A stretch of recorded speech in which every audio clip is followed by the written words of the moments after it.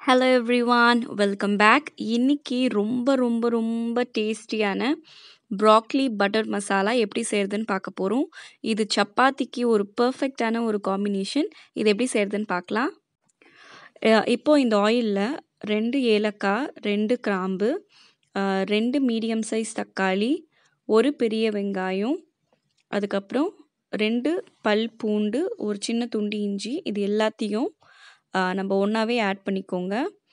Add பண்ணிவிட்டு இந்த ஆயிலில் நல்லா வந்து இதை சாட்டே பண்ண போகிறோம் ரொம்ப ஓவர் குக் பண்ண வேண்டாம். ஜஸ்ட் சாஃப்ட் ஆகிற அளவுக்கு குக் பண்ணால் போதும். ஸோ இப்போ இதில் கொஞ்சமாக சால்ட் ஆட் பண்ணி இதை நல்லா நம்ம குக் பண்ணிப்போம். க்ளோஸ் பண்ணாமல் குக் பண்ணுங்கள் இப்போ பார்த்தீங்கன்னா இது நல்லாவே ஓரளவுக்கு சாஃப்ட் ஆயிடுச்சு. இந்த அளவுக்கு குக் ஆனால் போதும்.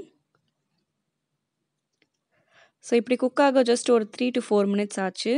இந்த நேரத்தில் கொஞ்சமாக மஞ்சள் தூள் அதுக்கப்புறம் ஒரு டீஸ்பூன் வந்து மல்லித்தூள் அதுக்கப்புறம் ஒரு டீஸ்பூன் வந்து கரம் மசாலா அதுக்கப்புறம் உங்களுக்கு எவ்வளோ காரம் வேணுமோ அந்த அளவுக்கு சில்லி பவுடர் போட்டு இதோடு நல்லா மிக்ஸ் பண்ணிப்போம்.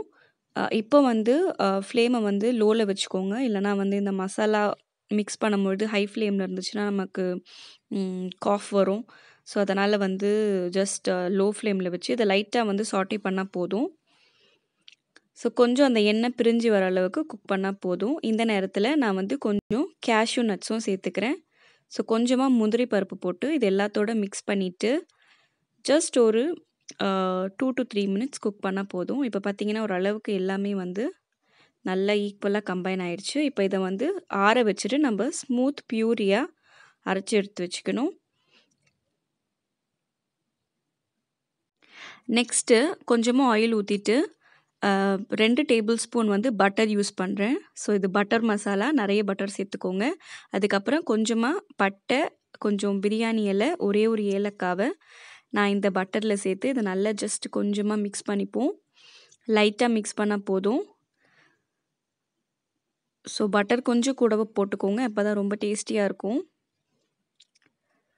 ஸோ இந்த பட்டரில் இது கொஞ்சம் வந்து குக்கான பிறகு நம்ம வந்து அரைச்சி வச்சுருக்க இந்த பியூரி அந்த டொமேட்டோ ஆனியன் பியூரி பார்த்திங்களா? அதை வந்து இதில் சேர்த்து நல்லா மிக்ஸ் பண்ணிக்கோங்க. ஸோ நம்ம இதை அரைச்சிட்டனால இதை நம்ம க்ளோஸ் பண்ணி தான் குக் பண்ணணும். இல்லைனா மேலே வந்து தெளிக்கும். அதனால் மீடியம் ஃப்ளேமில் குக் பண்ணுங்கள் ஸோ இது ஈவனாக கம்பைன் கம்பைன் ஆகிட்ட பிறகு நம்ம வந்து ஒரு டூ மினிட்ஸ் இது டூ டு த்ரீ மினிட்ஸ் வந்து இதை க்ளோஸ் பண்ணி நம்ம வந்து இதை குக் பண்ணிப்போம்.